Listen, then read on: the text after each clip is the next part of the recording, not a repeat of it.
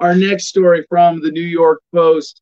Powerful men are scared about what Ghislaine Maxwell will say.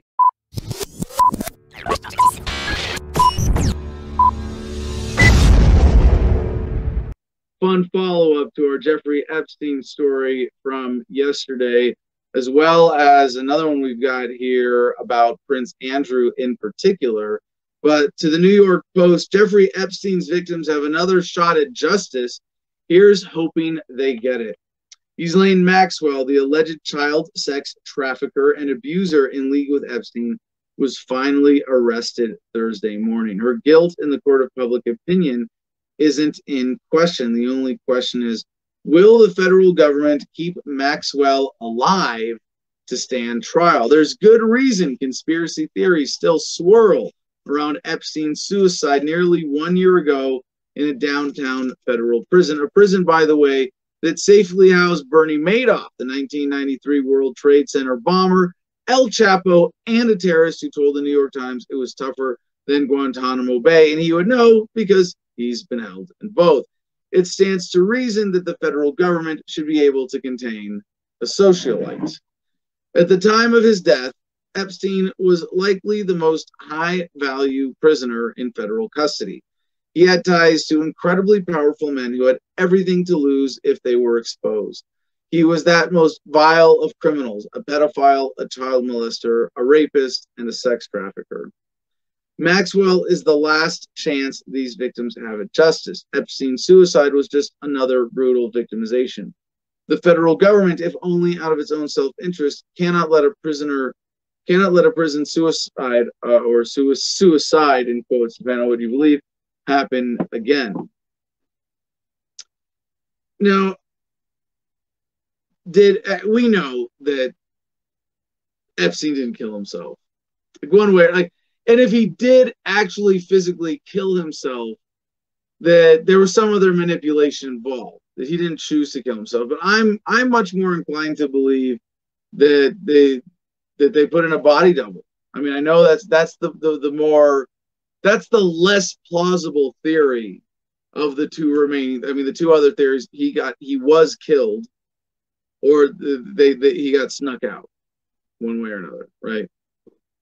And him getting killed is sort of less complicated, right? There are less stretches of, of plausibility in that theory that you know, that snuck someone in, you know, uh, faked the day or they, they, they choked him, made it look like a hanging, right? Because there was a broken bone in his neck that showed, you know, basically proved, right? And this is just really sloppy suiciding work here, Mrs. Clinton. Like, really, that, that you, you know, and by the way, I, I now I have to put out my disclaimer. I am not now, nor have I ever been suicidal.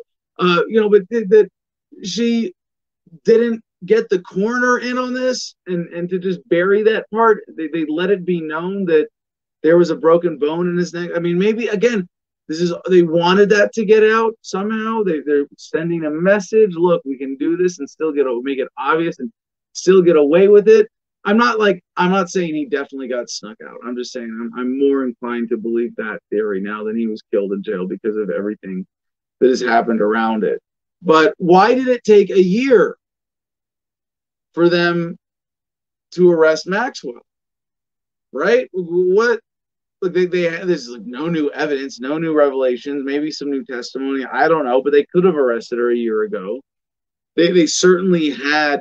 I mean, as the government, you know, ability to to charge someone with something to get them locked up so they're not out. They could have done that. Now she, she's obviously not like a threat. It's like she's out doing what she was doing since the since Epstein died or whatever happened to him. Um, so here the article goes on Maxwell must be treated as she is, as high value as Epstein, as dangerous and sneaky, kept under the strictest 24 7 suicide watch. Here's a detail that should make prosecutors and prison guards nervous. In the recent Netflix documentary, Jeffrey Epstein, Filthy Rich, a survivor stands outside Epstein's Manhattan townhouse and points to pockmarks in the edifice. Such pockmarks, she says, were all over the interior, the every the entire house, every room, every bed, every bathroom, shower, and toilet. was rigged with cameras and audio. Epstein kept a secret room full of monitors and watched his guests in real time. He blackmailed the powerful men who would visit and use his girls. If Maxwell dies in custody, the federal government will take a hit from which it may never recover. This is well, I mean that w- that would be a good thing, right? If it was uh, the but but you know the, the, it's not going that way. I, I mean, let's not be so optimistic. They're not going to screw things up so bad around this that everyone's going to go, "Oh, really? Adam's right. The federal government protects pedophiles and is a bracket that shouldn't exist and is holding back humanity." totally discredited because of what they did with Ghislaine Maxwell. Now, obviously, like that, that that'd be a nice fantasy. Um, but you know, more interestingly, from this other story, we get some specifics on Prince Andrew from the Mirror. Jeffrey Epstein victim's lawyer orders Prince Andrew to speak out as she blasts torture test.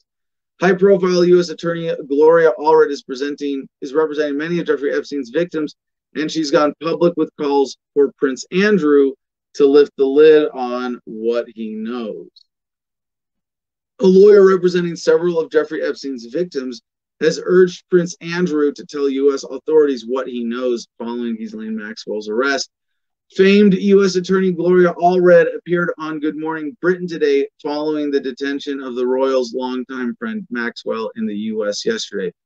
Allred insisted the Duke of York is subjecting those who suffered at Epstein's hands to a torture test by not speaking candidly about his friendship with the convicted pedophile. She said, The question is, Prince Andrew, when is he going to tell what he knows? He needs to do that. He needs to do it without delay. It is so traumatizing and difficult for the victims not to know the truth. And if this kind of and this kind of torture test that Prince Andrew is subjecting the victims to, like will he or won't he give a statement? If he will, when? more excuses, more delays. It really is painful for many of the victims. It's just not fair. And wow, this is uh, attorney Gloria Allred again doing a, an amazing job as a attorney in the court of public opinion, taking advantage of the platform. She's she's uh, you know really good whether you like her or not. Uh, she's you know and, and some of the causes I you know I think she's taken on legally I, I certainly wouldn't support.